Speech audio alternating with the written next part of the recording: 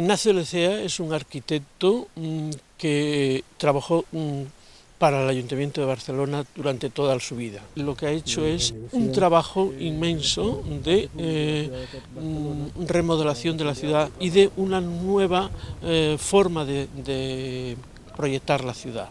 Per això, l'Ajuntament ha decidit homenatjar-lo posant el seu nom a aquest mirador del Parc del Carmel, situat entre el Parc Güell i el Turó de la Rovira. I és que precisament una de les obres més destacades de l'ECEA va ser la de construir els camins que comuniquen la zona dels Tres Turons.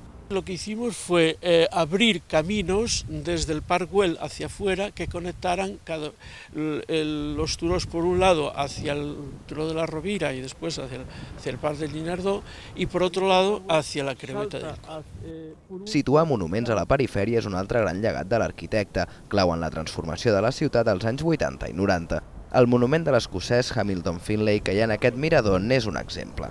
L'orden d'avui es el desorden de demà. Este monumento fue eh, traído expresamente por Ignacio Lecea. La remodelació que s'ha dut a terme a l'espai amb motiu del canvi en el nomenclator ha fet que molts veïns i ciutadans redescobreixin aquest mirador amb unes vistes privilegiades. Está a una cota ideal para eh, darse cuenta de que estás, tienes la, la, la ciudad muy próxima, tienes la ciudad muy cercana.